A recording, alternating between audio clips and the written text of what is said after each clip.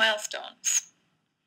So once you've created your project workspace, the first thing you want to add in is your milestones. And the reason you want to add these first is because you can link other things to them. So when you add in your to-dos and your messages, um, you can link them back to a milestone, which just helps organize it a little bit better. So what I like to do is you can add one milestone at a time, or you can add 10 at a time. So let's try that. So pick a date. So our first milestone will be to say we're doing a web project or something. Uh, we'll we'll say present wireframes to. Uh, let's see. I'm just picking some random ones here. Present complete design. Um, approval of the copy deck. What else? Let's see. Begin development. Development. And we can pick dates for them as well. So let's say the 19th, 21st, to the 27th. And we can also assign them.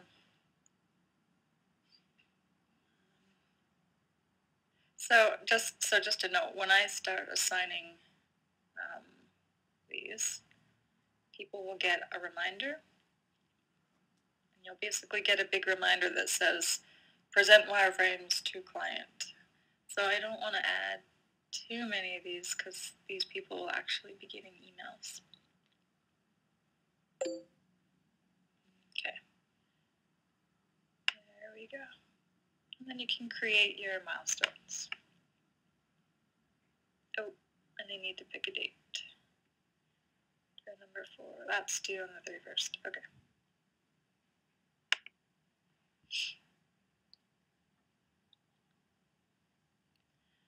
So once you've added your milestones, it puts it into a nice little calendar. So you can see what's upcoming, and and who it's assigned to and what the date is.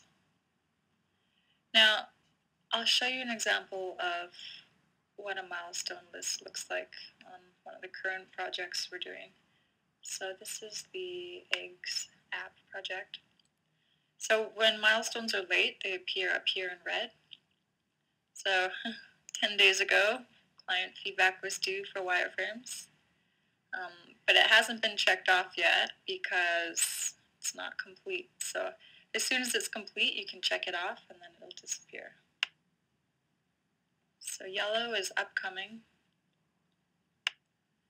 So you can see here, got a lot of stuff due today, tomorrow, Wednesday, and they all go in order, which is great. And then at the very bottom it shows you the completed ones. So you can see you know, we've completed the review, file notes, image. And here, you can see the to-dos and the messages that are linked to the milestones,